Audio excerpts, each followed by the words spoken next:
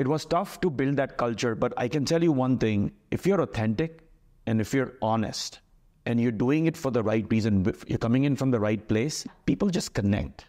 And that was something which I would say I was.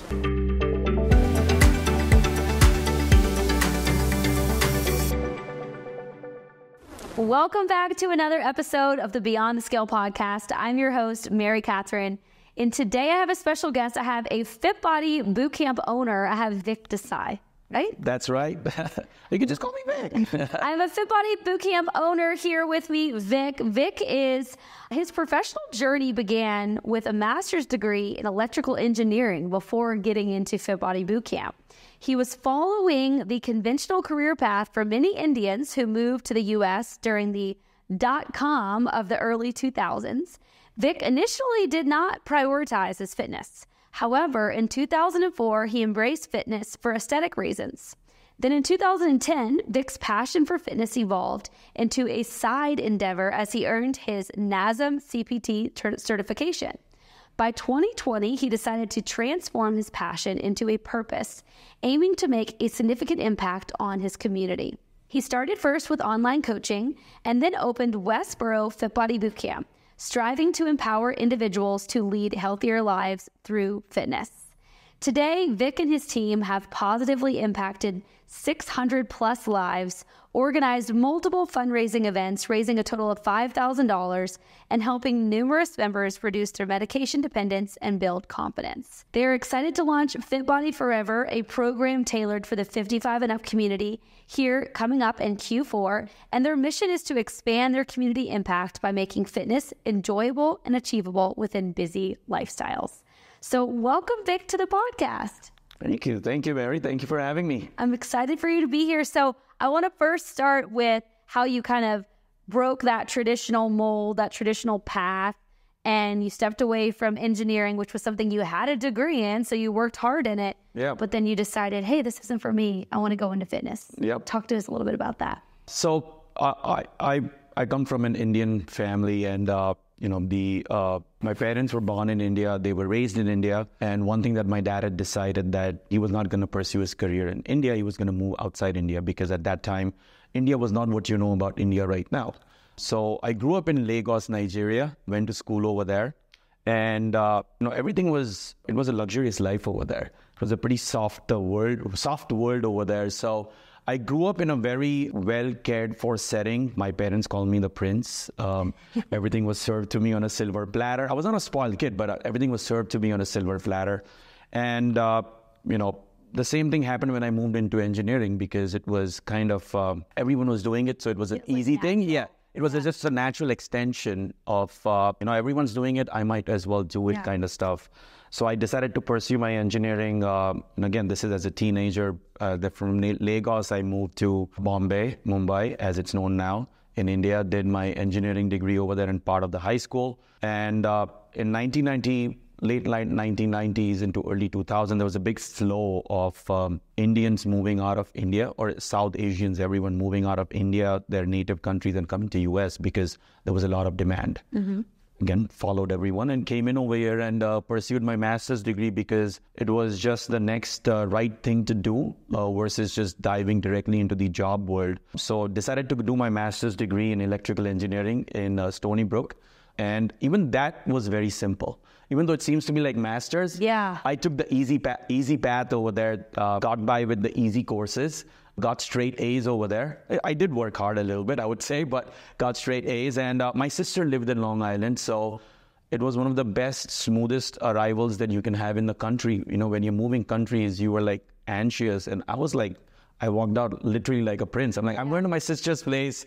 Everything is all set for me. Versus all my friends who moved, they had the figure it out mentality. So yeah. I had never had the figure it out mentality so far in my life till 2002, yeah. 2003. And the bubble bursted at that time and there were no jobs. So I was literally out of a job, 5,000 in my bank account. And again, my sister came into my rescue and like, move in with us, you will save on rent. Yeah. Again, took the easy, I mean, it was a smart thing to right. do, but I took the easy path out. And uh, I felt very sorry for the situation because I blamed the economy for not getting a job, not me not working hard enough for getting the job, not getting a job, and uh, I was waiting for a white knight to come and rescue me again. My sister came and said, "Oh, I know someone. They're looking for an IT professional. You guys talk and see how it goes." And that's exactly what happened. Yeah. So, uh, you know, now we're at 23, 24. You're earning 50,000. You have a car. You're not paying rent. Uh, you're getting Life is good. Life is good. You know, who, who wants to rock that, rock that boat, rock that ship, right? So, and then, uh, so I, I was just, you know, working along, like doing everything, Yeah. like how everyone else does, and waking up, going to work, coming back, partying, and doing all that stuff. Uh, you know, heavy partying on the weekends and everything. And then, uh, you know, fast forward a couple of years, got married, and uh, I think that was my first evolution because after I got married, my wife, she's a she completed her PhD in biomedical engineering, which is pretty high up there. Wow, yeah. So she decided to move to Chicago to pursue her career. And uh, that was my first evolution, I would say. I'm like, wow, she's career oriented. She's moving states. She, and we are married. She's okay with a long distance relationship just to go get it. And I'm here playing poker and having beer and doing all that. stuff. living the comfortable Just living that comfortable life. So I had an awakening call at that time, I would say. And I'm like, I'm, she's not here anyway. So let me pursue an MBA degree. Somewhere all along this journey, fitness became a part of my life in 2004 because we were getting married. And it continued to be for aesthetic reasons all the way. But it, it was still there. I was consistent with fitness and I was still doing it, uh, just not taking a deep dive into it, not knowing the science behind it. And uh, in 2006 or seven, uh, 2008 is when I decided to do my MBA because of that awakening call. And uh, I decided to do MBA in entrepreneurship, small business management and entrepreneurship. And I wanted to switch careers into finance because IT was getting too boring for me. And again, a lot of people were doing that. Yeah. I was seeing success over there. I, I was seeing my friends do it and they were seeing success. I'm like, all right, let me make a shift. I made that shift. And then again, the industry tanked over there in finance. In 2010, uh, 11, the entire real estate bubble bursted. Yeah. So I got laid off, and everyone was pretty much out of a job. There were Harvard MBAs that could be hired off the street. They would not, who were experienced. I was not even experienced in the finance world.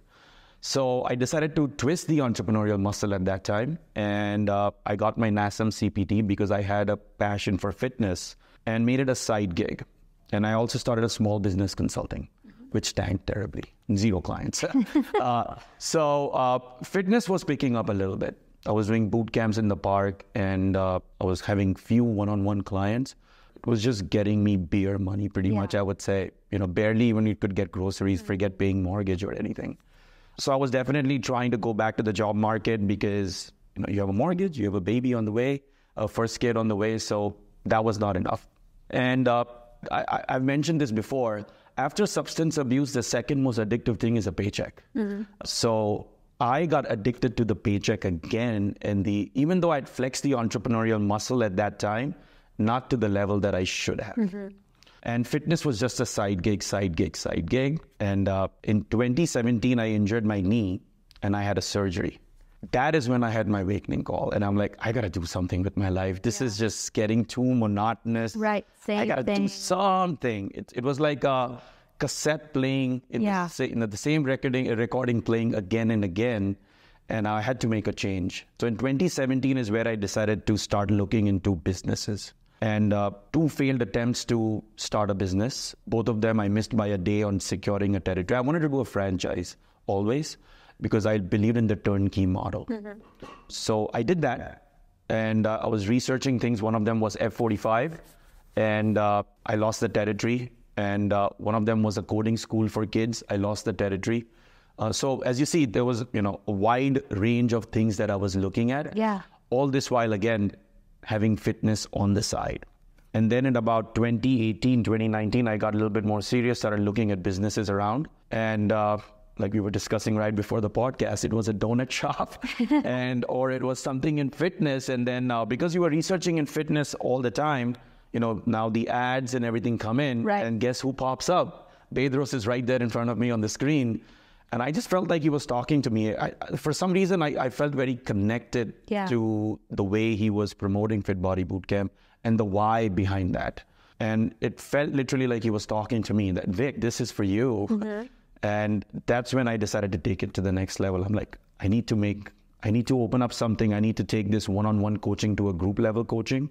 and that is what I wanted to do. So that's the entire journey from an engineer to an MBA to uh, Yeah. Fit Body Bootcamp owner. I love it. So I want to un- unpack a few things. So you mentioned your wife and how she earned her PhD and she went on to practice and do such amazing things. And you were kind of like, okay, if she's going to do that, what am I supposed to be doing? Yeah. I know there's a lot of people listening to this, and, and I have friends that have been in this situation where it's like you can easily sit back and you can let your significant other take the lead and do their thing, and you could just kind of fall in the shadows. But you were like, hey, I don't want to fall in the shadows. I want to do something great too. Yeah. Was there ever like um, a little bit of healthy competition between the two of you when you started getting into your business um, endeavors, or was it like she was always really supportive of you making this change? To, just you know, for anyone listening who might be in a situation like that. I I don't think so. There was any healthy competition as such. I don't think so. We were competitive. I would say there were conflicts. Um, conflicts on decisions that we were making. Yeah. And evaluating, you know, the the right path forward. Right. Uh, she's very analytical about things, and I am very impulsive. I, I take fast decisions. Yeah. I make fast decisions. So she sometimes helps helps to ground me. So that is where conflict happens, right? Yeah. I want to move fast, and she's like, "Well, have you thought Slow about down. this?" Right? So I think that is what was happening, and it was just always support for each other. Mm-hmm. I don't know if a lot of people that would say in a heartbeat, "Yeah, fine, go ahead and do things in Chicago." Yeah. And she actually just trusted me over there because she didn't even ask my permission. She's like, "I'm going," and we are married at that point. Yeah. So you know, you're rocking the entire base at that time because I'm, we have an apartment and I'm commuting to the city. She's like, I'm done. I'm, I'm going to, I'm packing my bags and I'm going Yeah. to Chicago. And I'm like, all right, that means I cannot live where I'm living right now. I got to live closer to work. What am I going to do doing this one hour commute every day? Right. So a lot of things were shaking at the founda- uh, were shaken up at the foundational level, but we both just trusted each other and supported. So I wouldn't say competitive. Yeah. Uh, I would say collaborative, but healthy, healthy conflict, which is getting the best out of us. So That's awesome. That's awesome. So you open your location. Talk to us about those first few months because you know this was something that it didn't just happen overnight. Like you had gotten into fitness, you were seeing, you were developing that passion. You started training clients, but then when you open up your own boot camp, that's a whole nother level of training, and you're able to impact more lives than you were doing one-on-one training. So talk to us about like how rewarding that was, and what were the challenges. I think uh, when you open up a brick and mortar location, the first thing that comes to your mind is will you be able to afford to pay the rent? I think that crosses everyone's mind who's moving from an online model to an you know physical location. Right. I think that was the biggest challenge. That was the hardest pill for me to swallow. I'm like, I think we'll be able to do this. We'll be able to pull it off. Uh, the business model is right. It it worked for so many loca- successful locations, and that is what convinced me in 2019 to go ahead with it. I knew there were going to be challenges because I'm still doing my full full full time job. Yeah. So I'm moonlighting that along with doing you know a fitness business, and Yeah. I knew I was going to get into it with a lot of work that had to come from my side. Pretty much live out of the gym, just come back home for meals and shower and go back. Mm-hmm. So I knew those challenges were going to happen. They were going to come my way, and I was ready for that. What we were not ready for is what everyone was not ready for is COVID. Right. And that was a big wrench that came to, ev- e- I think, everyone, each and every person. And uh, for me, I think it worked both ways. One is it challenged me, and at the same times, it was favorable because a lot of people wanted to get out and work out. So COVID definitely threw a big wrench. Forget a wrench; it probably threw a big toolkit my way. Yeah. Uh, like here, here's the hammer, here's the wrench, here's Right. do it, do Figure out how to whatever. Yeah. And uh, I decided to take advantage of that. I still had days uh, during that time because I signed in 2019 November and March everything shut down, and I was scheduled to open in June without a location. Yeah. As per the agreement, I had to open a location by June. Everything was slow. No landlord was responding. And I was probably one of the rare ones who was frantically knocking on the landlord's door. I'm like, guys, respond to mm, my. It's like uh, everyone else is closing their business. Yeah. Like you're knocking, saying, "I want to open." I want to open, right? Because I have June that I have to open with, and I need money coming in. Yeah. Otherwise, I'm not going to just land up paying fees and not making any money. right. And so a lot of challenges and anxiety at that time and again everyone was moving to the work from home model mm-hmm. kids were home so it, it, there were too many variables at that time, and uh, my lawyer said, "You know what? Just eat up the fees for three months. Don't open a location. You, it's going to be a disaster for you." So I took his advice. Actually, I didn't knock on the landlord's doors anymore, and I Yeah. took a break for about a couple of weeks. I was not looking for locations, and then luckily, the current location that we were just showed up on LoopNet, and uh, it was probably just meant to be Yeah. It was prime location, right on the main road, big place, affordable rent. And I'm like, I gotta move on this. Yeah. And it's like eight minutes away from my house. I'm like, I gotta move on this. So Yeah. that's when, so that was again favorable to me, right? COVID kind of, he also wanted to get some business Mm-hmm. because he does not want an empty location.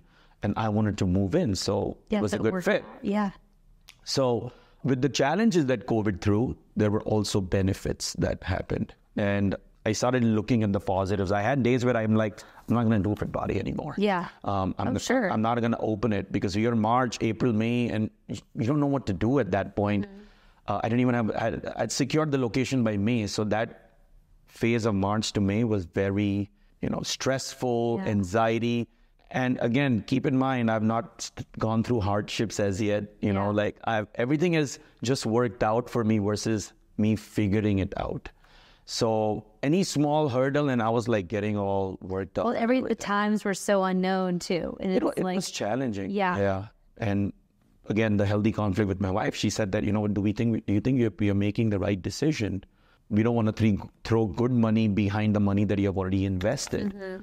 Can you speak to HQ and everything? And, and I did want to do it, but I decided not to because somewhere I felt that Fit Body is the right thing. Yeah. I, I had to convince my wife, and I'm like, if I can convince her, I can convince a lot of people, right? So it's someone who knows everything, and she knows that you know, no, he believes in this model. He's, you know, she trusts me. So uh, if I could convince her, I knew that I could convince everyone else because she's a tough one to convince at times. Yeah. Um, so we continued, and then I pivoted to an online coaching model again the advantages of covid at that time and i, I know a lot of people who wanted to work out.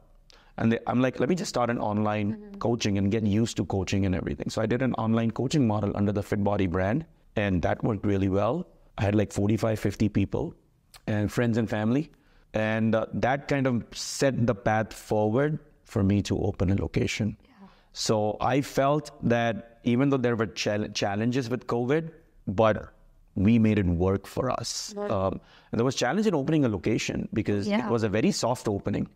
You know, nowadays when we hear locations opening, they're like the hundred plus. Yeah. thing, yeah. We had the grand opening and the entire thing, but we had a soft opening. I would say 70 people came Mm-hmm. in and uh, they were just trying us out, and about 50 or 60 stayed on versus the 100 that now people open with, Mm-hmm. you know, 100 plus members.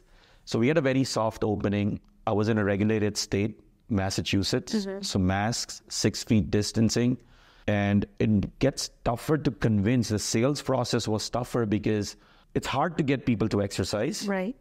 And even though they want to, maybe nobody wants to do it for the long term, so they'll come in for the short term. And now you throw in the entire mask on that, on top of that. So it's like I'm good in my house because I would rather do online videos without the mask versus go to a place with a mask. So Yeah. there were many challenges with that, but at the same time, there was a crowd who wanted to work out, and. Uh, I mean, you guys had lo- running locations at that Yeah. time, and you being an owner, I'm pretty sure you've experienced those challenges yourself. So, Oh yeah. Yeah. And the six feet, we had the same thing. And some of our clients, they would come in and they would say, "Well, I don't want to work out standing in place. I want to move around to the station." Right, right. And we're like, we hear you. We want to do that too. And we did have clients that would say, I'd rather work out at home and move all around than have to stand here in place. And and I understood. I understood. But yeah, challenging times. But I know that on the other side of that, we learned so much. And I I think you hear it said a million different ways, but you know, it's a blessing and a curse all at the same time during say so, COVID. yeah. What lessons would you say that you learned during that time about the importance of mental fortitude and having the mental and emotional strength to just keep going? Oh my God. that was, uh, I, I believe that, you know, mental strength, just like physical strength and the fortitude, is not built overnight, right? It's, it's very similar to glutes, quads, chest, biceps, that you have to flex that muscle Yeah. for it to get stronger. You have to start though. It's not just going to happen. So I think many things helped during that time from uh, building that mental strength. But it was very tough at the beginning because, like I said, I was I was, I was getting worked up with every small thing. You know, every any small problem, I was just magnifying Yeah. it. I was making it of such a big magnitude, and like it doesn't have to be this much. I, I don't have to take it so seriously. It'll work out. I'll figure it out, and all those things. It happened as things evolved as you opened the location and again there were different challenges that everyone face faces when they open a location i faced many different challenges as well some challenges are unique in nature and some are common um, but the good part what i felt is the community of the fit body the fit body community oh man i think that was uh, that was a savior so i really leaned upon that a lot for when I was opening the location and I was going through the challenges. And that made me believe that I'm not the unique one who's having a problem. Right. There are others and they have solved it. So next time a similar problem came in, my reaction was different. I'm like, it's solvable. I just need to go to the right people for that, or I need to get the right toolkit for that. Yeah. It is solvable. So I think as that muscle got flexed is when it got stronger and stronger. Not to say that I can face anything right now. There are days where you want to hide under a rock, Sure.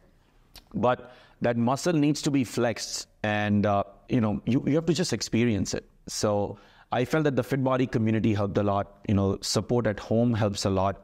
Opening up with a partner who understands helps a lot. And and uh, following the right people. I did take some you know i did follow the right people before. It's funny my social media was all celebrities.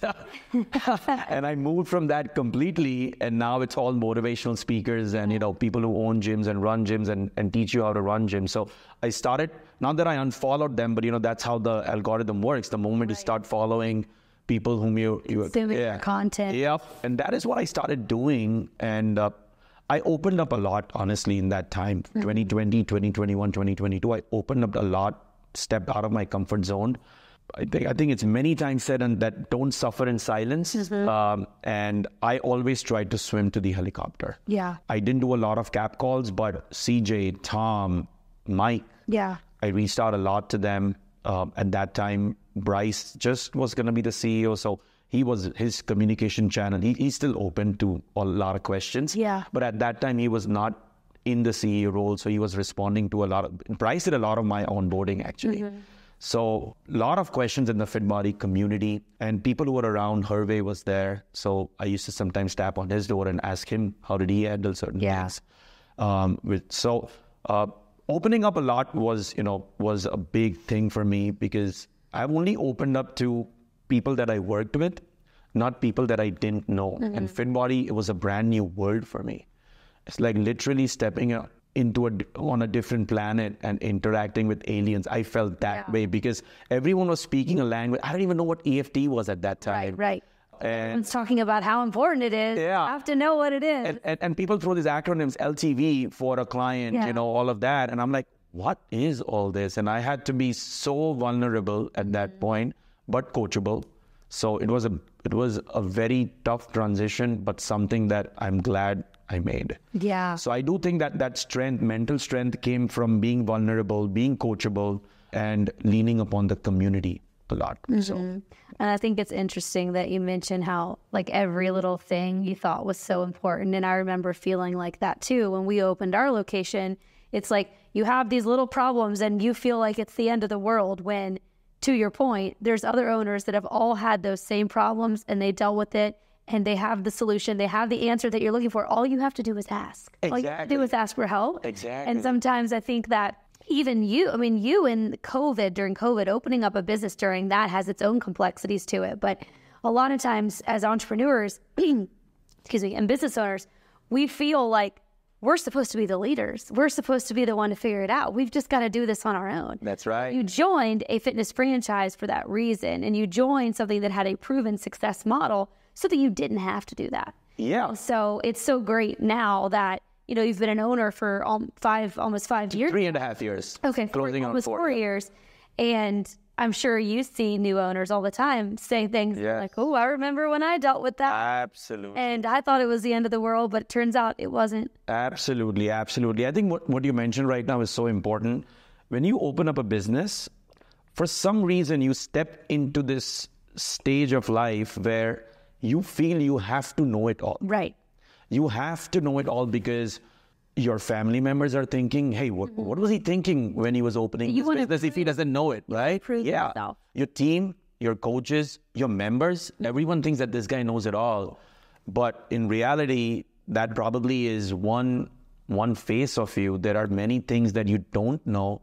And you should be open to that, saying, I don't know this, I need to learn this. Mm-hmm. If you're gonna be egoistic and say, No, I know this, and and if you know it wrong, you're in deep trouble. Right. Uh, so you have to know it right. You have to know your weaknesses, and I think that was something that was a big learning learning curve for me. That I'm not supposed to know it all. Yeah. I, I don't know it all. I need to ask the right people so that I can do the right things. Otherwise, I'm gonna land flat on my face and I'll have to shut down. Yeah. So that that was a big big transition for me. Definitely. What's the one thing that like still gets you out of bed in the morning? Because I know as a business owner doing this for over seven years now, I mean, there's days where you're like, oh, do I really want to go into the gym? Do I really want to do this? And you got to give yourself that little pep talk. So what do you what do you say to yourself in that pep talk? What's your reason? My main reason, I think, uh, I have to say this is the the people who come to the gym, they are. How do I say this? It's it's the fit fam, I would say, you know, because we have such a great relationship that I know that if I show up below my, I would say, energy at, at, at a low energy, at a low vibration, it's going to impact close to 100 people that day. And that is going to have a bigger impact because if I could influence 100 and each of them, let's say, influence 10 on a daily life, uh, on, on a daily basis, that's just going to multiply. It all trickles down. Exactly. Yeah. So, and and I would say I will single-handedly take the blame for that. So there are days when you don't want to wake up, right? And you want to cuddle in cold winter days, Yeah. right? And uh, but and and and you do wake up, and you have to give yourself that pep talk that, you know, don't do it for yourself today. Do it for the hundred people that are coming in, because just imagine the impact that they're gonna have Yeah. and just just the, just that fact that these guys are also going through the same thing. They're waking up in the morning maybe at different hours. They're waking up in the morning. They don't want to work out. This is your business Yeah. but they don't want to work out but they're still going to show up. That speaks volumes about them about their commitment their dedication to their life and you are probably responsible partially responsible for that. So own that responsibility and take it forward. So i think that is what always does get me into the right zone. There are people relying on you. There are people who are looking up to you, and you will probably define their day if you do it right. Right. You got to step in with the right energy, the right vibration. Yeah. Do it for them and not for yourself. I love So that. that is that is what keeps pushing me Yeah. every single day. That's awesome. Yeah. So you mentioned before we started recording this or when we were just chatting back and forth on emails that, you know, being an immigrant does not put you as a, at a disadvantage Yeah. when it comes to owning a business. Can you talk about that a little bit? Yeah, definitely. I think so. I think being an immigrant, a lot of times people uh, enter that shell that they are here to work for someone else because they are they feel indebted to the country, right? So let's say if you move countries now, you feel indebted to the country. This country accepted me with open arms. I want to give my service to this country, and and a lot of times people I feel feel that that service could come in terms of you know being a good citizen, which everyone should be, mm-hmm. you know, paying the taxes and doing the you know doing your job. I I would urge people to take that to a different level, that create an impact in the community, and that will be the best way to give back to the country. Yeah. That is the best way to give back to a country that welcomed you as an immigrant. And how are you going to create an impact? And there is direct and indirect impact, mm-hmm. right? Majority of the people who are going into work, they might be creating an impact in the community. I always felt you need to create a direct impact. I can point a finger and I can say, I changed this person's life because of Fit Body Bootcamp. That is what I would say is should be. I would say that that is what lets me sleep in the night. Yeah. Would- lets me sleep properly. So that is the mindset that I would ask everyone to embrace. Initially, there are tough tough challenges for sure. Not everyone can just start, come into the country and start something. Yeah. Uh, but don't be of the mindset that you gotta be, you know, the average person. You can definitely do a lot more. And the moment you put your mind at the right place, that you want to make an impact in the community, in whatever, a for-profit organization, not-for-profit organization, I think that is that will drive you forward. And I, I highly encourage everyone to do that. Yeah. I mean, really. That's great. Can you talk to us a little bit about? I know culture and community, we put that at the forefront of our business. All of us business owners and leaders within the FitBody brand, we talk about how we're in the people business. You did start your business during COVID. So building culture and community was very different for you than it was for me because I was able to have my doors open, operate as normal, whereas you had all of these restrictions. Was it difficult to blend your community with the people that were training online to then the people were training in person and when you brought them all together and things started to you know normalize post covid Yeah. was that difficult It, it had its own challenges. Um, so the ones who were online, about I would say 10% came in the location. The ones who were online were mainly remote from different states. okay Uh, they were friends and family. Um, so, but 10% came, I would say, into the gym, and they were very understanding of the new re- requirements of Yeah. wearing the mask. But the challenge that I had was me. Because I was an online coach and now I am a coach in a physical location. So I had to shift the way I coach people. I had to shift the way I um, am operating a business. And that was a big challenge. And in that, definitely, you know, when people are coming in, building that culture was tough. And, and also, when I was an online coach, it was a little bit easier to build the culture because people knew me even before I started Fit Body Bootcamp. But here, I'm meeting people for the first time. So it was tough to build that culture. But I can tell you one thing if you're authentic and if you're honest and you're doing it for the right reason, if you're coming in from the right place, people just connect. And that was something which I would say I was. I was, I initially opened the location to make money, mm-hmm. but very quickly moved, transition to make an impact. Mm-hmm. And people could see that. And that is why I have, I still have people who have started with me from day one, which is, I would say, and in COVID days, yeah some people who have crossed for a location that's three and a half years in, some people at 750 sessions. That's huge. That just talks about the loyalty and the culture. So it, it, it has to come from you being authentic and you being honest and exactly knowing what impact you want to create. And that just shows in your culture. And that's how you build your team. And that and the team needs to align with the core values. So I have certain core values as on a, on a personal end, which of course is there on the business end, and the business has some core values. There is a there is a hybrid over there between the personal and the professional one, but then the professional ones are a little bit different as well. But the core values of me being who I am was there in both the worlds, personal and professional, and that's why I felt building the culture was a new thing, but something that I was able to do well. So yeah, there were challenges. There were some members who didn't become a part of the culture. right And I tell my current members, I fired them. yeah I didn't want them to renew their membership or their trial. I literally fired them because they would have really brought the culture down. People who are very vocal about the mask policy, people who are vocal about, um, you know, uh, I do. How much do you sanitize? Now we did everything right, yeah uh, but it was tough to keep everyone happy. Um, and we did the best we could. But I, I was being honest and authentic about things. And I'm like, listen, we have to shut the place down because there was an outbreak. I know you missed a session. There's only so much that I can do. But we had to shut the place down for everyone's benefit, for, uh, for everyone's well being.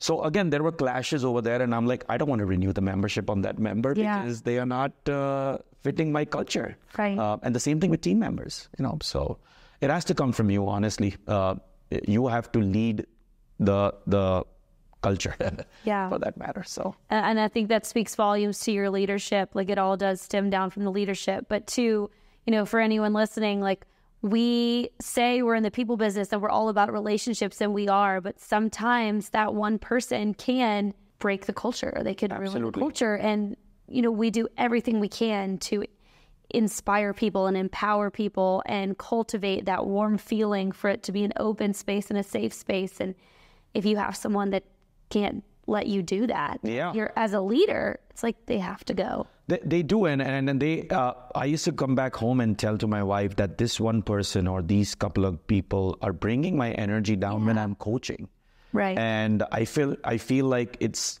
it's uh, injustice to the others who are coming in to work hard. I think I didn't do my job right, and uh, again, it takes a lot of peeling the different onion layers. Right? Is it me? Is it my sleep? Was it my food? Yeah. Was it the last night? Or what triggered? Right? So I had to really dissect that, and we we really wean out our trials also now. I've started doing that in the last few weeks and last few months because some of them were bringing my energy down because they were just not kind of fitting the culture. yeah.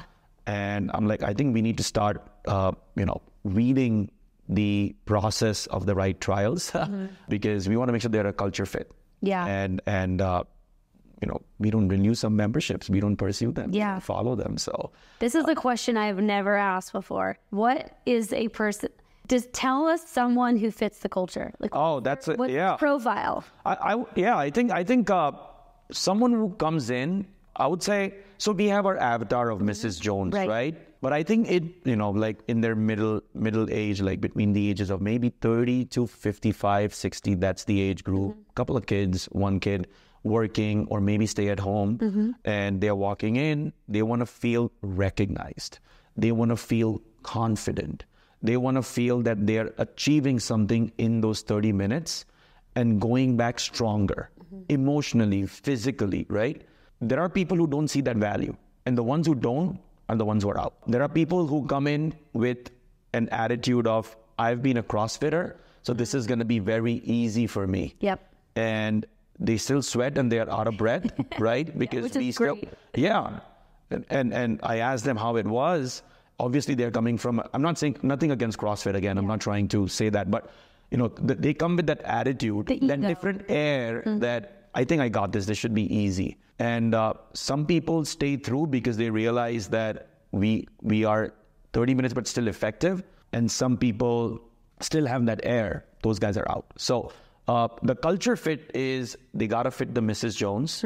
They gotta fit that anyone and everyone is accepted over here. No one is no one is supposed to say, "Oh, this person is is, is not the right." Right, like, right. You know, Not excluding anyone. Uh, yeah, I mean, not intimidating anyone, mm-hmm. right? Not having that superiority complex that, oh, I am fit. I mean, we have some people in the gym who are like at a pretty low body fat and they're still coming in to maintain it. Yeah. But that does not mean that you come off with a different attitude to others. They still got to fit the culture. Like Right. you, it's got to be non-intimidating. It's got to be welcoming. It's got to be warm. You know, when someone comes in, mm-hmm. people, no one should be standing in a corner and you know mm-hmm. just by themselves on their phone. I want to make sure everyone is interacting. And we, some people are introverts but for us we can we can doing this for three and a half years now my team and i can easily identify those who will not fit the culture. Mm-hmm. So it, it it's either it's a gut or it's just experience. I don't know what it is but doing it for three and a half years we know this one's going to be a great culture fit and this one's not so. Mm. Um, like i said warm mrs jones in non-intimidating appreciating the value that we deliver it's not just a workout yes that it is a workout but it is empowering you that you can do tough things you can do challenging things Yeah. you know you can go dominate once you leave this session because we do tough things on the mat so Yeah. that's I love that answer. Yeah, be open to change, open to grow, receptive to feedback, Yep. all of those. coachable Yeah, coachable. Yep. Definitely. It's it's hard to coach someone who comes in and they say they don't need a coach. yeah It's so difficult. Exactly, and, and and those are the people who don't stick. Right. Mm-hmm. I would say, uh, if they are coming in for a workout and they're coming into the gym, uh, coming into Fit Body, uh, they love the workouts, but they, I think those are going to be the short-term people. People who are coming in for a transformation, for Mm-hmm. Right. a program, for for uh, a community, you know, setup. Right. They are the people who stick and love it. Yeah. Now, some people come in with the prior mindset and they very quickly change it because our team does a great job, our fit family does a great job, Mm-hmm. but some people just don't. And those are the ones who leave in the trial or, Yeah. you know, the first renewal of the membership. So, Well, awesome. Well, Vik, is there any parting pieces of wisdom that you'd like to leave our listeners with when it comes to business ownership, community, culture, anything about your journey? For business ownership, I think I would say the journey that I went through is uh, very intimidating when you look at it uh, from an outsider's viewpoint. It, it, it is very intimidating. And, and I was an outsider when I was looking at other people's journey. Sure. Um, and when I stepped into that journey, very lot, very stressful, lot of uh, you know anxiety. But you have to be prepared to do the hard work. A lot of times, people hope that everything will just fall in place. And I think there is a very famous, I would say, I, I might butcher the quote, but it's going to take longer than you think, and it's going to cost you more than you budget for.